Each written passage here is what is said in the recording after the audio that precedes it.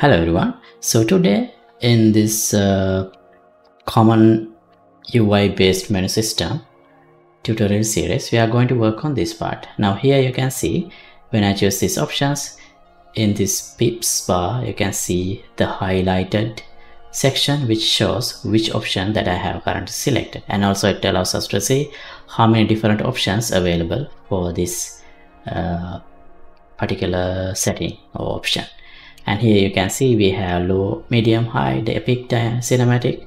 And here we only have enabled and disabled. So to represent that we only have two pips.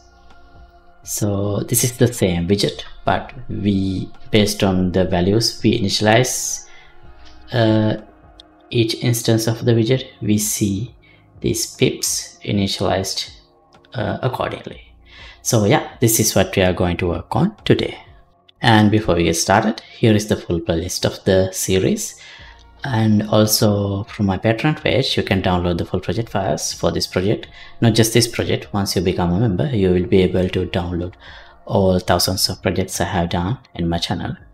And i'll leave the links to everything in description below.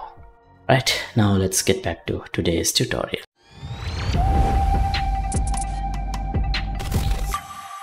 okay so this is what we implemented yesterday. Here if i go to video settings we have this cycle button implemented which allows us to cycle through options that we have defined for each button. So we have this previous option next option button. So today i want to add uh add pips that shows what is the currently selected uh, option and how many options are there for this particular option line. So that's what we are going to work on today. All right. So let me go to the widgets and sub widgets uh, and open the rotator. And here I want those pips to appear underneath this text. So let's wrap this with a vertical button uh, vertical box. And let's add an image just a regular image. This should not doesn't have to be large. So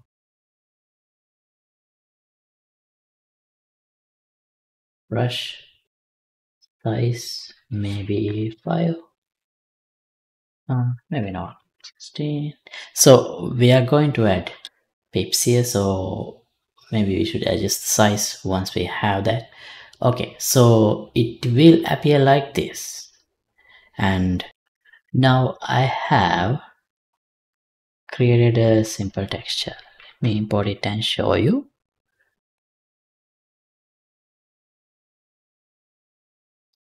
here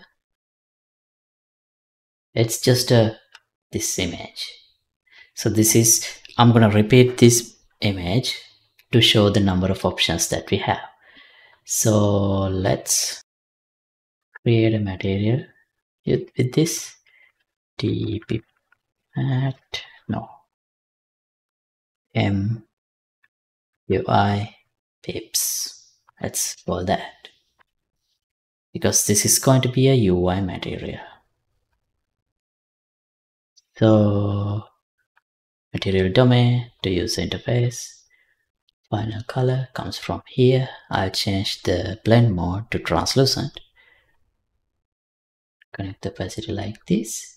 So now here, if I get text coordinate, texture coordinates, and if I want to repeat X tiling or horizontal tiling, let's multiply this with a vector that only has value in X and Y should be 1 because I don't need to repeat this pattern along 1 along Y axis. So make float 2 as I said Y define a constant value here and y should be 1 and x I'll promote a variable a parameter.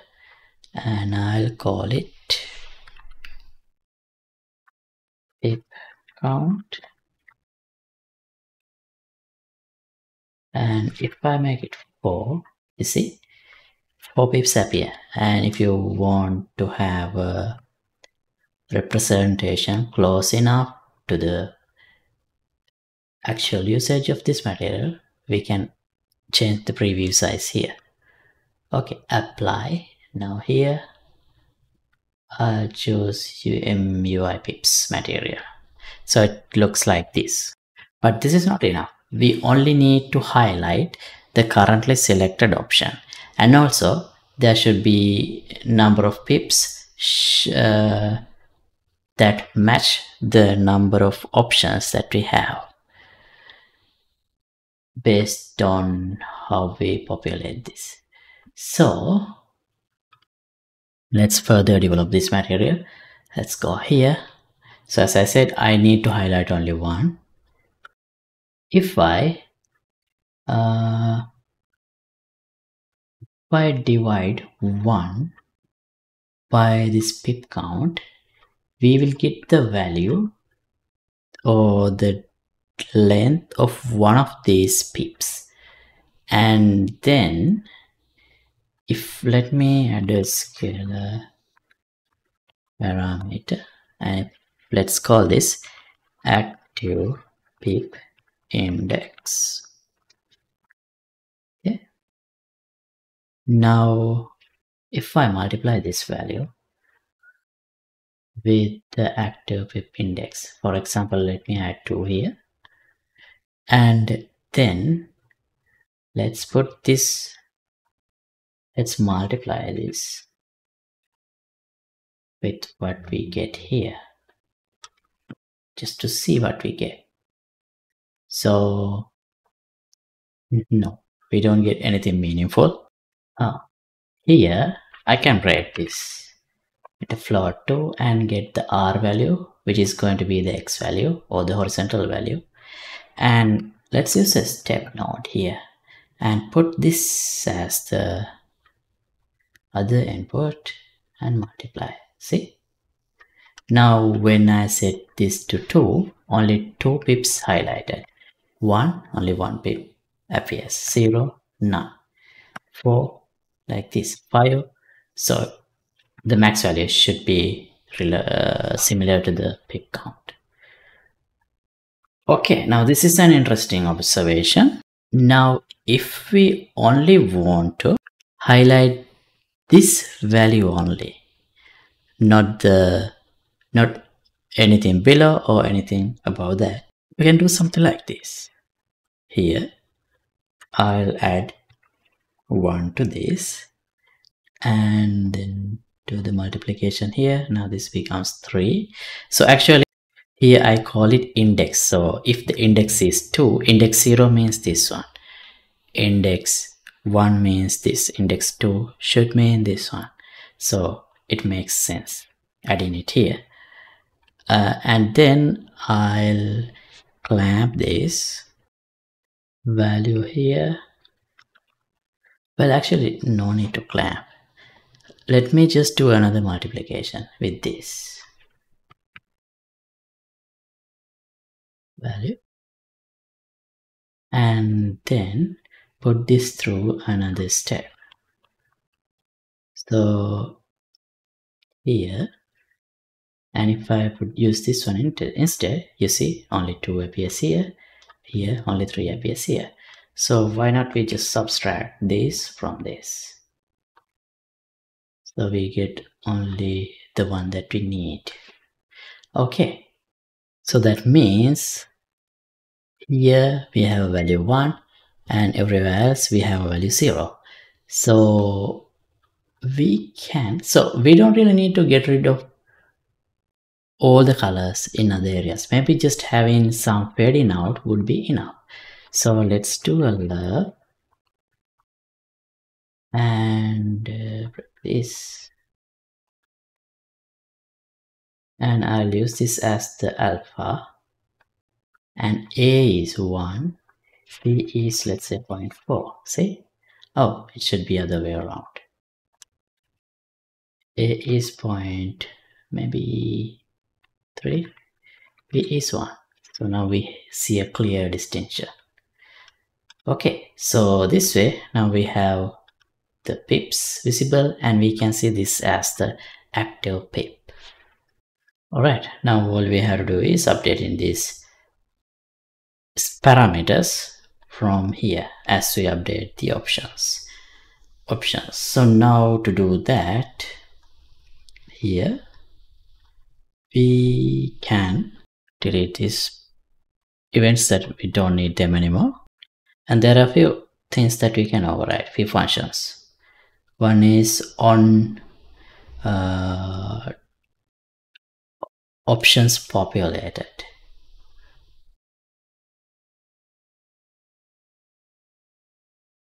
This one. So this will be fired whenever this rotator is populated with options. And that happens here in the option cycle we call this populate text label. When we call this function and pass a new set of options this uh, event will be fired. So here we get the count. So from here I'll change this image. It's already a variable. Let's call this img pips. And from this we can get dynamic material. And update this value scalar set scalar parameter value with this count. The value name is pip count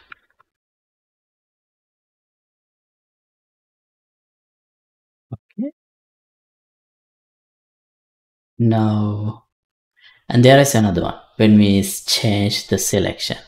And that is on option selected. On options selected. Similarly I can get the dynamic material.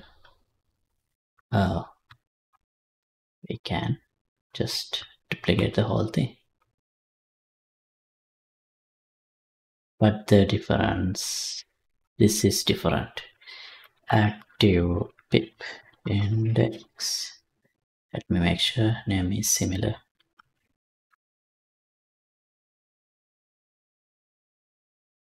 All right now that's all. So if I go here see it's already set one two three four five. Mm. yeah we have cinematic two. And this is highlighted epic is highlighted. Uh, fourth one is highlighted because this is epic this is cinematic. This is low medium high epic cinematic. Now let's check this in action. Settings video.